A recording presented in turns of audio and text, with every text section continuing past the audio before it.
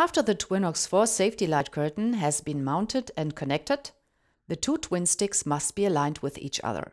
What this means is that the beams of the sender optics must hit precisely the optics of the receiver unit. Before we start the actual alignment process, we recommend that you have one of the Twinox 4 sticks attached firmly to the machine wall. This is going to be our reference against which we align the other stick. So leave the other one a little loose and movable. As a first step, switch on the power supply for the safety light curtain. Note that the COM LEDs on both the sticks start to flash white immediately. This signals the first ever synchronization between this pair of twin sticks. In other words, this safety light curtain is still in factory settings. For the actual alignment, we are using only the Twinox 4 stick that we have left loose a bit. Move it slightly until LED 1 lights up blue. This means that the two twin sticks have started communicating with one another. Proceed with the alignment so that more LEDs light up blue.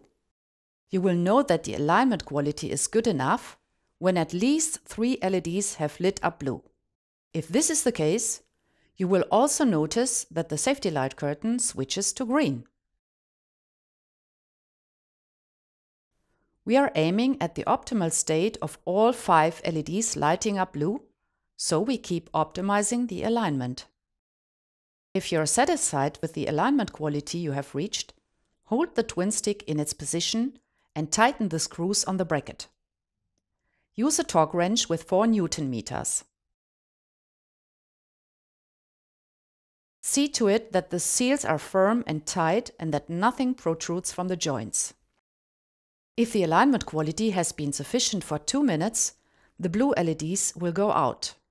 This simply means that the system has switched out of alignment mode and is now operational. And with that, the alignment of the Twinox 4 safety light curtain is complete. We're finished now. We hope this little video tutorial was helpful for you and wish you good luck and safe times with your new Twinox 4 safety light curtain.